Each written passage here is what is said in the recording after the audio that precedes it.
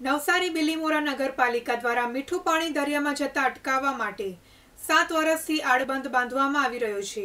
અને આ વર્ષે પણ દર વર્ષની જેમ જ બંધ માટીનો હોય અને લાખો લીટર પાણીનો વ્યય થતો જાય છે.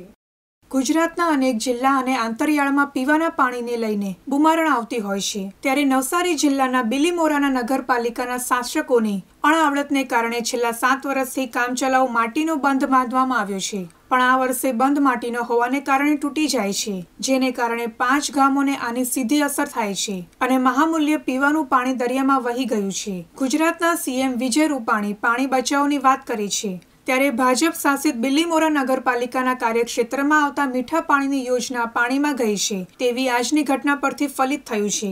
ઉનાળા દરમિયાન પાંચ જેટલા ગામોના પીવાના પાણીની ગરજ સારતી આ યોજના બિલ્લીમોરા નગરપાલિકા શાસકોની અણઆવડતથી નિષ્ફળ ગઈ છે. તેવું શહેરીજનો તેમજ વિપક્ષ માની રહ્યો છે.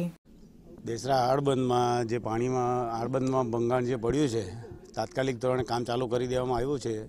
એ ભંગાણ પડવાનું મુખ્ય કારણ એ હતું કે એકમની જે મોટી ભરતી આવી, તેમાં પાણીનું પ્રેશર વધી જવાથી એમાં ભંગાણ પડ્યું છે. તાત્કાલિક કામ ચાલુ કરી દેવામાં આવ્યું છે અને એક દિવસમાં આજની તારીખમાં કામ પાણી પાછું તેની તે સ્થિતિમાં આવી જશે.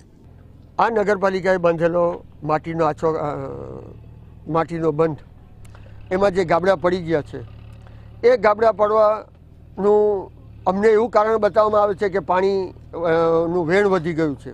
પણ નહીં અમારું એવું કેવું છે કે આમાં આ બંધ બાંધવામાં જે લાલિયાવેડી રાખી છે ને, એ નડ્યું છે. અને જો લાલિયાવેડી ન રાખતા હોય અને આ બંધનું જો વખતો વખત નિરીક્ષણ કરે, કર્યું હોય તો આજે આ દિવસ ન આવતે. કારણ કે આ બંધ વારંવાર બાંધવામાં આવતો છે.